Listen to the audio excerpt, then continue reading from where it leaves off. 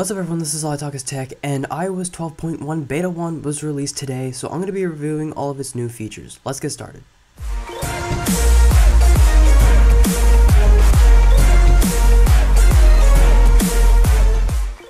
Okay, so before we actually get started, I just want to let you guys know that I that this will be my third upload for the day, so if you're new to the channel, this is not something I usually do. This is only because there's a lot of news coming out at the same time and I need to be on top of it.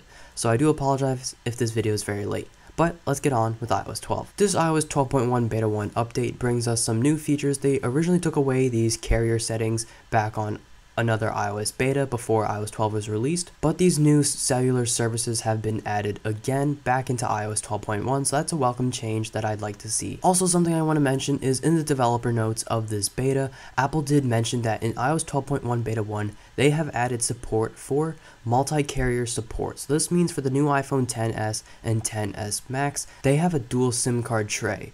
So theoretically, if you were to buy an iPhone 10s or a 10s Max, you could not use two SIM cards. You have to wait until this beta update comes out to the public. So when iOS 12.1 does officially drop for the public, that's when you will be able to activate both SIMs at the same time. One of the iOS 12.1 betas, people were expecting new emojis and sadly that did not happen. So the new Unicode files have been updated, they just have not been released yet to iPhone users. So expect in an iOS 12 update in the near future to see new emojis, it's just not going to be in this update. Now another change in iOS 12.1 beta 1 is a new feature in read receipts. So if you are the person sending a message, if the other person receiving the message deletes that notification on the lock screen or notification panel, that will act as if the person read that message. So I'm going to be showing you an example right now on the screen so you can see. Alright, so I'm texting myself right now on my iPhone 10. This is the sender. On the iPhone 6s Plus running iOS 12 beta 1,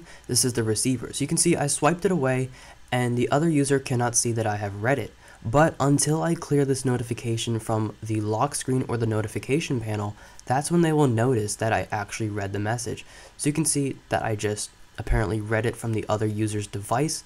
I'm sorry my screen timed out, but I'm not really sure I appreciate this feature. I don't like this feature mainly because I tend to clear a lot of my no notifications, and if this situation were to happen to me, someone may think that I read their text when realistically I didn't. Now me personally, I've always turned off read receipts because it's no one's business whether or not I read a message. But next up on the features list for iOS 12.1 beta 1 is Apple brought back group FaceTime. So with group FaceTime, apparently users are reporting that this new FaceTime icon was grayed out in the past betas and now it's no longer grayed out in a group message.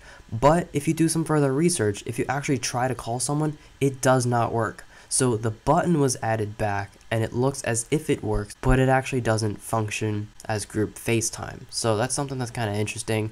So it's kind of like half added back, half not. So I guess that's a sign that Apple's working on it. This other feature is in the emergency SOS category on your settings page. So what you want to do is if you are in the emergency SOS screen and you have auto call turned on, Apple added a feature where they now have a countdown sound.